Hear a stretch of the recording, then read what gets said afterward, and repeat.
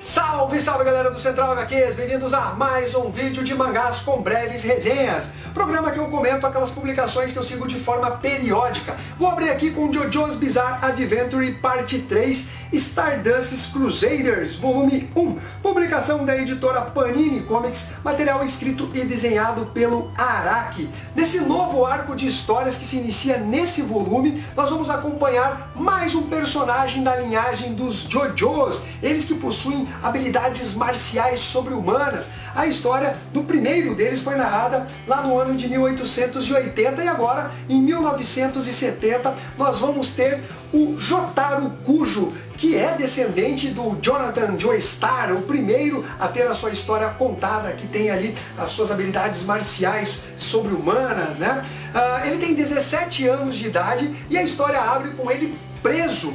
Ele simplesmente deu um pau numa galera aí, barra pesada, é, ficou preso, os policiais temem as ações dele, porque ele é muito forte, apesar de ter 17 anos, e falam, não, você pode ir para sua casa, vai. Só que ele não quer sair da prisão porque ele sente que está sendo dominado por um espírito maligno. A mãe dele aparece ali, né, para, vai filhinho, vamos para casa, também não consegue convencer até que chega o avô do uh, Jotaro, que também é conhecido como Jojo, por causa do nome Jotaro Cujo, né? Jo e Jo no final ali.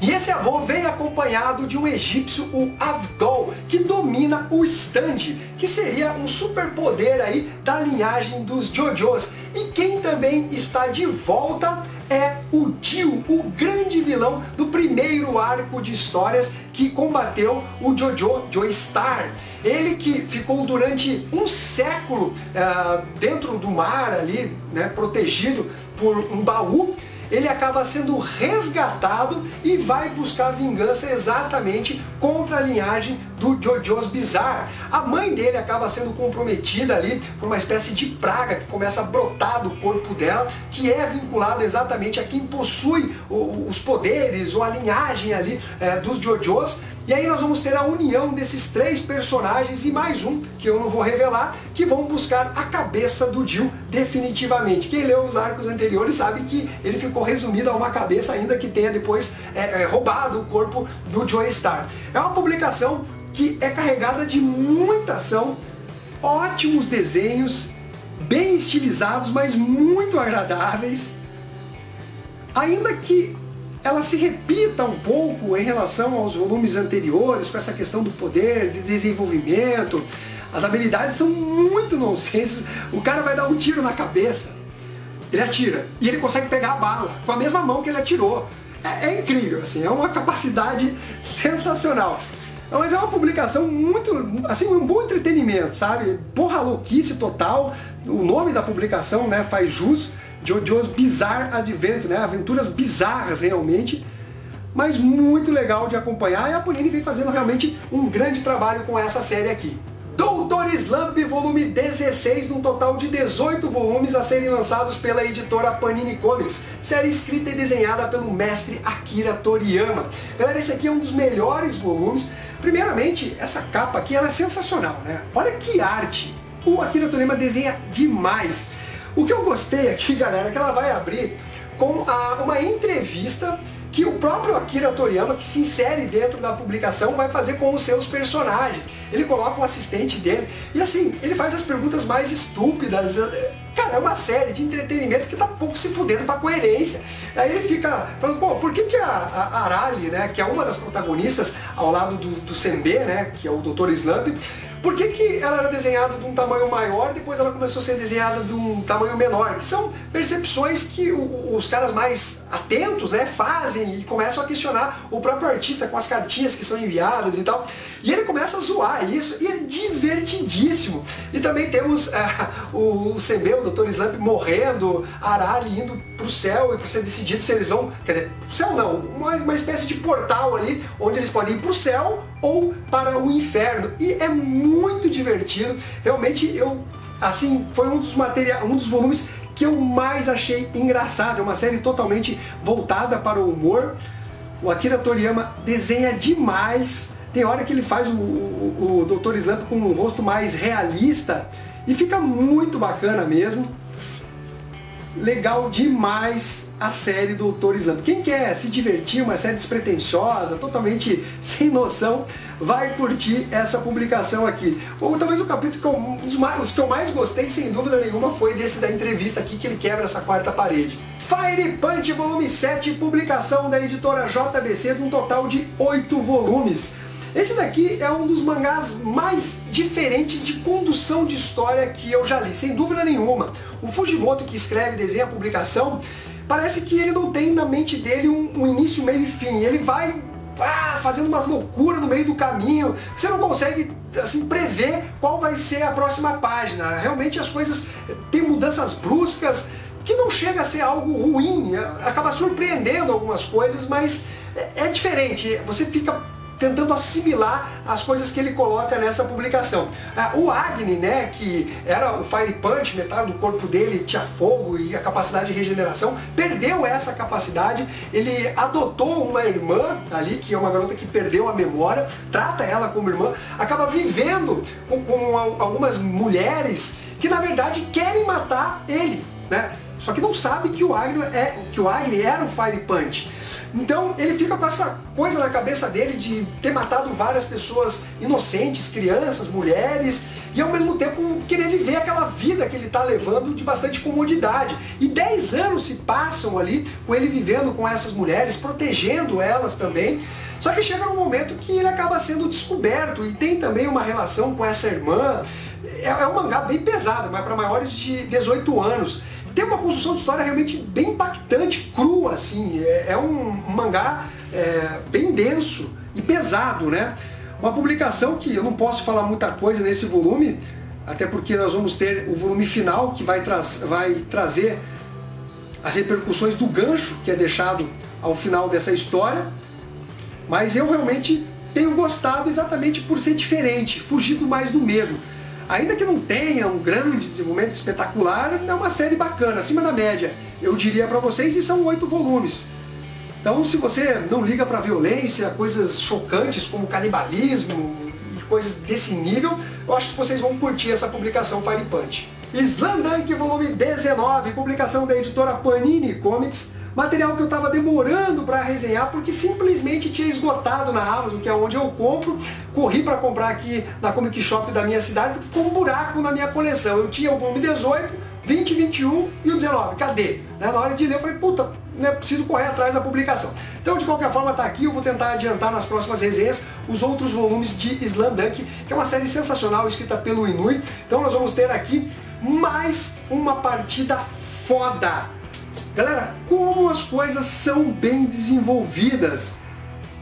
Você se apega com todos os personagens, não só com o protagonista que é o Sakuragi. Sakuragi, né? Eu sempre falo errado os nomes japoneses, mas enfim. É um desenvolvimento muito interessante em termos de estratégias dos técnicos, a emoção que ele coloca nas partidas.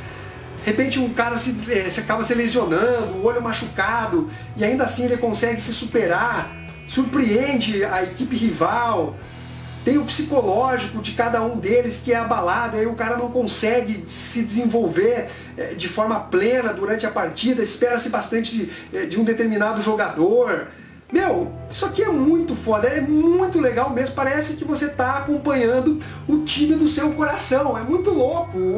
Pensa um cara que consegue passar todo esse sentimento para o leitor. O Inuit faz um trabalho maravilhoso nessa série Slam Dunk, você não precisa necessariamente gostar de basquete, se você gosta de esporte, esse material é para você. Para finalizar, The Promised Neverland, volume 9, publicação da editora Panini Comics, um mangá muito bacana, e assim como o volume 19 do Slandunk, esse, essa edição 18 estava com um buraco na minha coleção. Corri atrás e também pretendo resenhar uh, mais brevemente os próximos volumes. Nesse daqui nós temos a Emma com o Ray, que vão acompanhar o tio naquela aventura de encontrar o Minerva e tal. Eles vão para a floresta, eh, acabam uh, enfrentando diversos demônios, mas sempre com o pé atrás em relação ao tio que não vê com bons olhos aquelas crianças que chegaram ali na base dele, comendo a comida dele e tal. Ele que uh, teve também um grupo de amigos, mas a maioria desses amigos acabaram morrendo, se não todos, né? Então ele tem um certo trauma e tem dificuldades de confiar nas outras pessoas. Mas a, a Emma é uma garota de muito bom coração, ela tenta se, é, se aproximar dele, fala, não, nós vamos te auxiliar. Só que o tio, ele na verdade quer levar essas crianças à morte, né, nessa floresta. Então ele faz as coisas ali de forma a criar uma espécie de armadilha para que os demônios façam esse serviço sujo e não ele. Só que a Emma e o Ray são garotos muito espertos, então eles conseguem lidar bem é, com essas armadilhas que vão surgindo no decorrer da história. E chega num determinado momento que a Emma ela acaba sendo sequestrada por esses demônios que tem uma cidade como campo de caça. Eles vão lá simplesmente para caçar, não é? Não é como naquele orfanato que a Emma e o Ray acabaram fugindo, que eles serviam basicamente como uma fazenda para serem consumidos.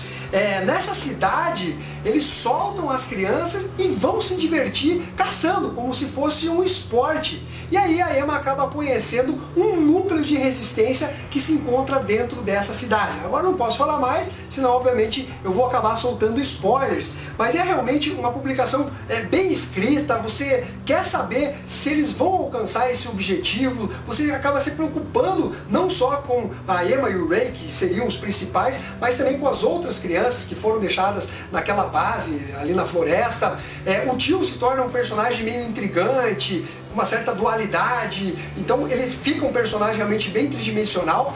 Realmente, galera, é uma publicação bem bacana, que tem ótimos desenhos, muito dinâmicos.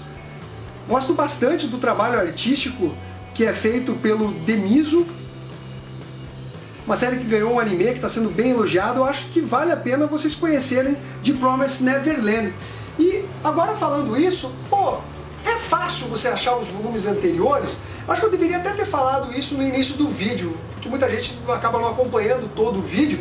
Mas uma coisa que está me incomodando são os volumes de mangás que estão se esgotando rapidamente e não estão sendo repostos. E nem falo do site da Amazon, que talvez hoje seja a maior fonte de compras online é, dos leitores de quadrinhos.